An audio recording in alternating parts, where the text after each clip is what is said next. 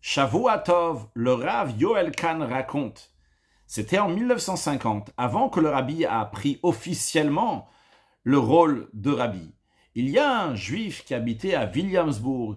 Il n'était pas du tout religieux et c'était Shabbat. Sa fille elle est tombée malade, gravement malade. Et il n'y avait pas beaucoup d'espoir.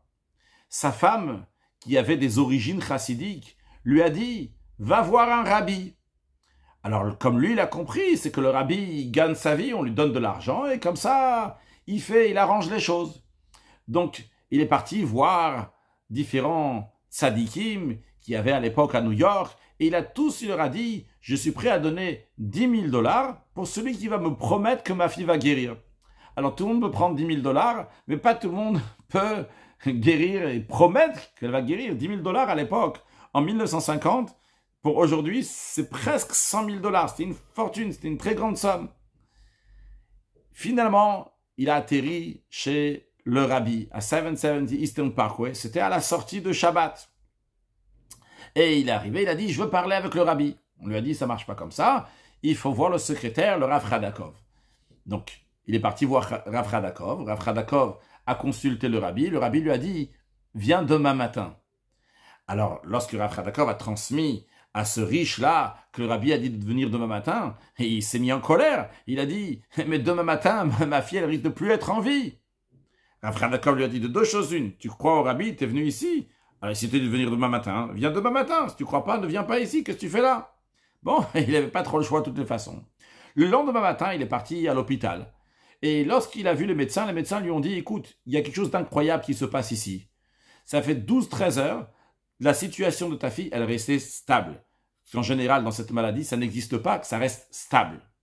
Alors, il a fait le calcul, il a dit 12-13 heures, tiens, c'est le moment que j'étais hier chez le rabbi. Il s'est dit, tiens, il y a quelque chose qui est en train de se passer ici. Il est parti voir le rabbi. Et le rabbi lui a dit, écoute, c'est entre tes mains, ça dépend de toi.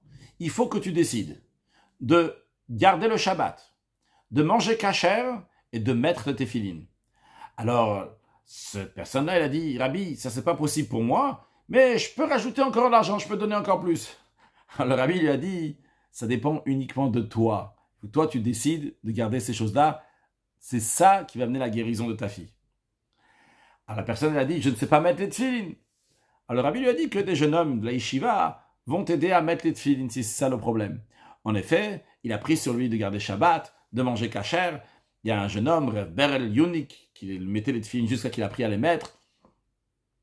Et sa fille a guéri. Le rabbi a dit à toutes les institutions de ne pas prendre un dollar de cette personne-là pour pas qu'il pense que peut-être c'est son argent qui a fait guérir sa fille, mais c'est uniquement les bonnes résolutions qu'il a prises qui ont fait guérir sa fille.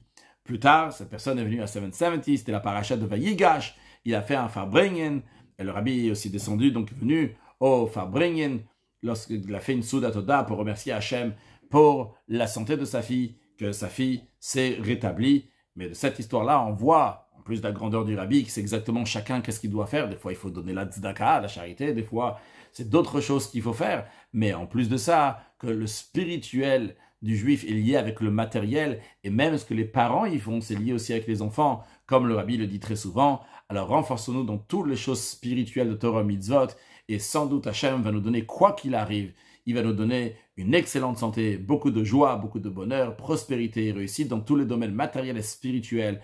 Et l'essentiel, la venue de Mashiach now, Shavuot Tov.